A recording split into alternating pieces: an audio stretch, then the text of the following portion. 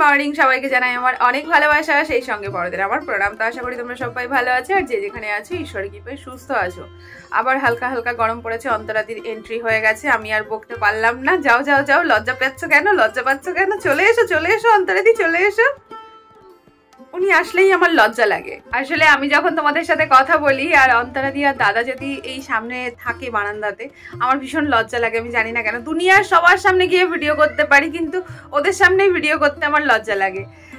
হয় না কখনো কখনো, ওই আর কি হয়ে যায়। তো যাই হোক, সকালবেলায় টিউশন গেছিলাম, ঘড়িতে বেজে গেছে এগারোটা। এখনও খাওয়া দাওয়া কিছু হয়নি, ভাবছি একটুখানি মুড়ি মেখেই খেয়ে নেব। আসার সময় ভাবলাম একটু ডালপুরি নিয়ে আসব। আবার ভাবছি পেটটা যা কুমড়ো পটাশ হচ্ছে দিন দিন। শুধু তেলই খাচ্ছি। থাক, আর খাব না। অন্তরাদি এন্ট্রি নিয়ে নিয়েছে, কিন্তু তবু আমি কথা বন্ধ দিইনি। লজ্জাটাকে ভাঙার চেষ্টা করছি। লজ্জা ঘেন্না ভয়, তিন থাকতে নয়। কি বল অন্তরাদি হাসছে, দেখো হাসছে। আমি দেখাতে পারব না ওকে। রেস্ট্রিকশন আছে। কিন্তু নামটা বললাম ওর। কারণ পৃথিবীতে অন্তরা প্রচুর আছে। কোন অন্তরাকে খুঁজে বেড়াবে লোক? তাই না অন্তরাদি তাই না বলো? তো চলো, আমি আগে একটু, ও, আজকে আমি একটু বাজার করে এনেছি। কি বাজার করে এনেছি জানো? এক কিলো আলু আর এক কিলো টমেটো। বাজারে আমি কিছু খুঁজেই পেলাম না যে আমি কি কিনবো। দাঁড়িয়ে দাঁড়িয়ে ভাবছি আমি কি কিনবো। মানে স্যারের বাড়ি থেকে আসার সময় একটা ছোট্ট বাজার পড়ে। আমি তোমাদের বলেছি, আমি পড়তে গেছিলাম। কি জানি বলেছি কিনা, যাই হোক, সকালবেলায় পড়তে গেছিলাম। যাব না যাব না, করে গেছিলাম। উঠতে দেরি হয়ে গেছিল, সেই মরতে মরতে ছুটতে ছুটতে গেছি। কারণ স্যারের সঙ্গে আজকে একটু কথা বলার ছিল, সেই জন্যেই গেছিলাম। মনের মধ্যে কিছু দোটানা চলছিল, সেই দোটানাগুলোকে ক্লিয়ার করতে গেছিলাম। এখন অনেকটা ফ্রেশ লাগছে, অনেকটা হালকা লাগছে মনটা। তো চলো, এখন একটু ব্রেকফাস্টের জন্য কিছু জোগাড় করে নিই, তারপর বাকি কথা হচ্ছে।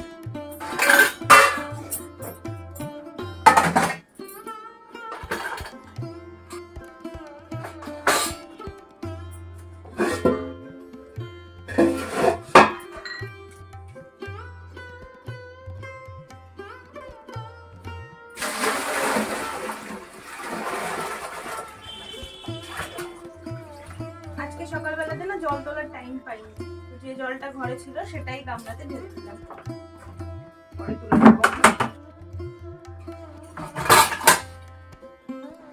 ড্রেসটা চেঞ্জ করে পেঁয়াজ, ভুজিয়া আর টমেটো দিয়ে একটুখানি মুড়ি মেখে নিয়েছি আর এবার এটা খাব।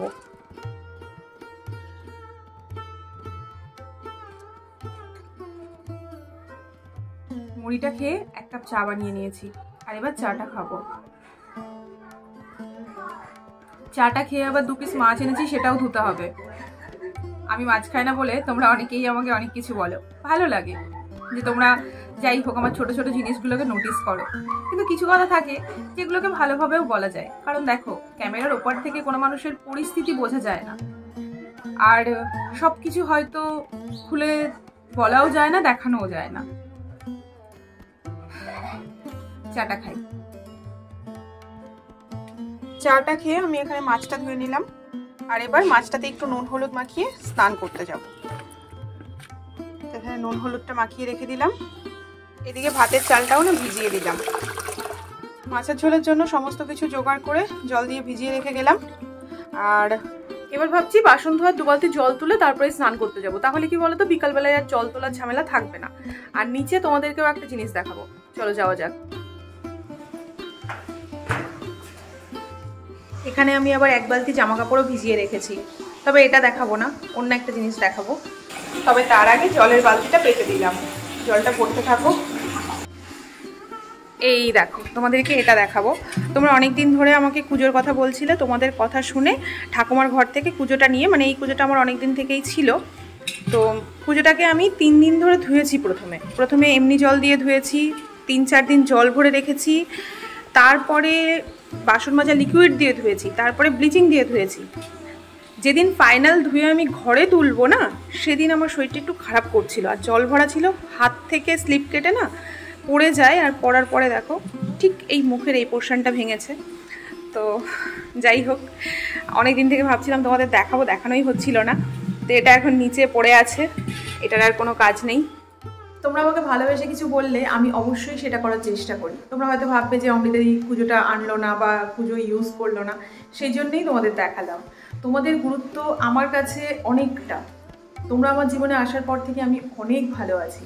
তো তোমরা আমাকে কিছু বলবে ভালোবেসে, আর আমি সেটা করব না, হতেই পারে না।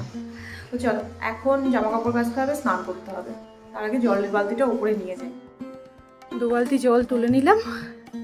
অনেকটা কাজে গিয়ে গেল।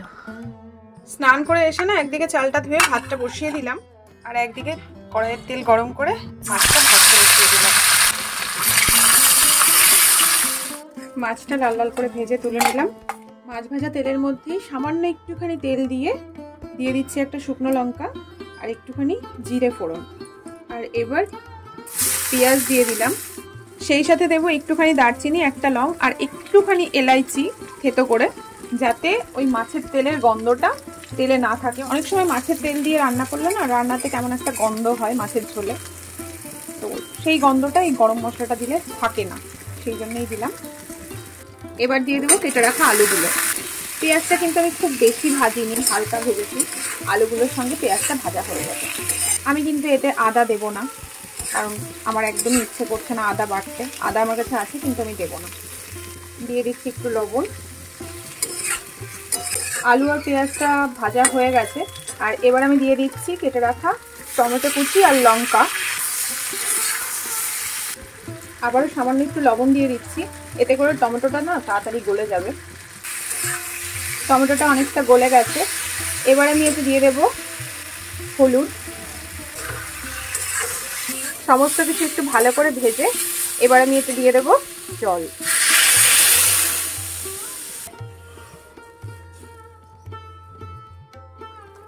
মাছের ঝোলটা ফুটতে আরম্ভ করেছে, আর এবার মাছগুলো দিয়ে দেব। আর এটা কিছুক্ষণের জন্য ঢেকে দেব। এদিকে আমার ভাতটা হয়ে গেছে, ভাতের মাঠটাকে একটু ঝরিয়ে নেব।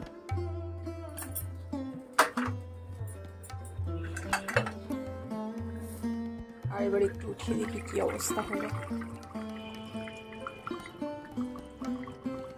আলুগুলো ভালো গলে গেছে। তো একটা আলু গলিয়ে দিলাম।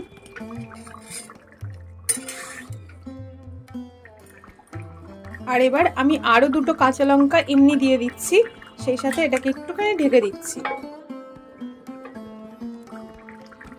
সবশেষে দিয়ে দিচ্ছি ভাজা জিরের গুঁড়ো। আর একটুখানি নাড়িয়ে চাড়িয়ে এটাকে আবারও কিছুক্ষণ ঢাকা দিয়ে দেব। রেডি হয়ে গেছে আমার আদা ছাড়া মাছের ঝোল। গ্যাসটাকে বন্ধ করে দিলাম।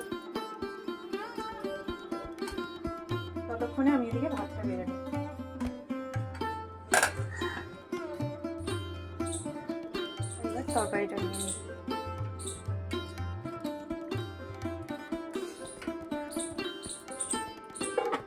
এই হলো আমার দুপুরের খাবার, ভাত আর আদা ছাড়া মাছের ঝোল। চলো, খেয়ে বলি কেমন রাঁধলাম। ভাতটা বেড়ে না এতক্ষণ একটু ঠান্ডা হওয়ার জন্য রেখেছিলাম আর ততক্ষণে আমি আমার ইউটিউবে একটু কাজ করছিলাম। তো এবার একটু খেয়ে দেখি কেমন রাঁধলাম।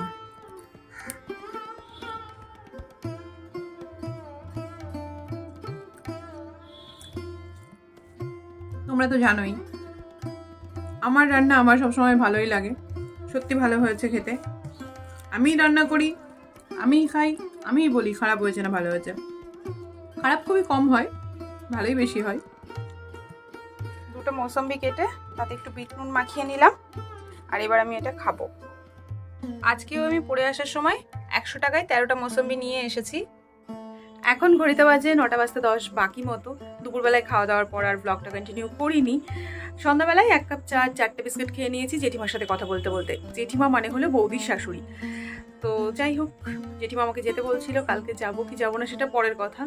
কিন্তু এখন আমি এক্সারসাইজ করব। আটটার থেকে ভাবছি এই বুঝি এক্সারসাইজটা শুরু করব। কালকে থেকে শুরু করেছি, বলেইছি, তিন দিন কুমড়ো পটাশ হচ্ছি। তো একটা জিনিস করা আর সেই জিনিসটাকে কন্টিনিউ করা, দুটোর মধ্যে বিস্তর ব্যবধান। এক্সারসাইজ শুরু করার আগে করছি, করব, ভালো লাগছে না, শরীর ব্যথা হচ্ছে, গা ব্যথা হচ্ছে, অনেক অজুহাত থাকে। শুরু করার পর না ভালো লাগে। আর তারপর কন্টিনিউ যদি এক্সারসাইজ করতে থাকো, যে এনার্জিটা পাওয়া যায় না, সেটাতে আরও ভালো লাগে। কেন যে মাঝে মধ্যে ছেড়ে দিই, কে জানে? তো চলো, এখন চটপট ড্রেসটা চেঞ্জ করে নিই। তার আগে যে জামা কাপড়গুলো মেলা আছে, সেগুলো এখান থেকে সরিয়ে দিই। তারপর একটু এক্সারসাইজ করে নিই। আজকে আর এক্সারসাইজ শেয়ার করছি না, কালকে করেছি। ওই রকম কুমড়ো পটাশ বডি রোজ রোজ দেখাতে আমার ভালো লাগে না, আমার লজ্জা লাগে, সত্যি বলছি। ড্রেসটা চেঞ্জ করে নিয়েছি যোগা ম্যাটটা পেতে নিয়েছি, আর এবার ঘরের লাইটটা অফ করে দেব। সামনের জানলার পর্দাটা তুলে দেব। আর এবার অন্ধকার ঘরে এক্সারসাইজটা শুরু করব। জানলা দরজা বন্ধ করে এক্সারসাইজ করলে না আমার দম বন্ধ হয়ে আসে। নিঃশ্বাস নিতে কষ্ট হয়। সেই জন্যে দিনের বেলায় করি না, রাতের বেলায় করি। ঘরের লাইট অফ করে চারিপাশে জালনা খুলে। তবে মশার উপদ্রবটা খুব হয়। যাই হোক, সে অনেক অজুহাত থাকবে, আমি আগে শুরু করি। আর মোটামুটি কতক্ষণ করতে পারি দেখি। আমার এক্সারসাইজ কমপ্লিট আজকে আমি আধ ঘণ্টা মতো করলাম। কালকে যেহেতু শুরু করেছি, তো গা হাত পা প্রচণ্ড ব্যথা হয়েছে। আর কেমন যেন মাতালের মতন না টলছি। মানে শরীর ফোল্ড করতে পারছি না, কমর নিচু করতে পারছি না, যতটা পড়লাম করলাম, একটু লাফালাফি করলাম। শুরু তো করলাম। রোজ করছি তো, এটাই বিশাল বড় ব্যাপার। ফ্রেশ হয়ে চলে এসেছি। ভাবলাম আগে ব্লগটা এন্ড করে নিই, তারপর মুখের জল টল মুছবো। এখনও মুখের জলটাও মুছিনি। রাতের খাওয়া দাওয়া করব। ঘড়িতে বেজে গেছে সাড়ে দশটা মতো। যদিও এত রাত করে আমি খাই না, সাড়ে নটার মধ্যে আমার খাওয়া দাওয়া কমপ্লিট হয়ে যায়। কিন্তু যখন আমি এক্সারসাইজ করি, তখন একটু রাত হয়ে যায়। যেহেতু আমি রাত্রেই এক্সারসাইজটা করি। আর কি খাব তোমরা তো জানোই, আমি একবার রান্না করে দুবার খাই।